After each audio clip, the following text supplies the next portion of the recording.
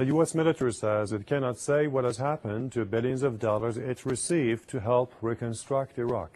The Special Inspector General for Iraq Reconstruction says the U.S. Department of Defense cannot account for $8.7 billion out of just over $9 billion. The inspector blames poor record keeping and lax oversight for the loss.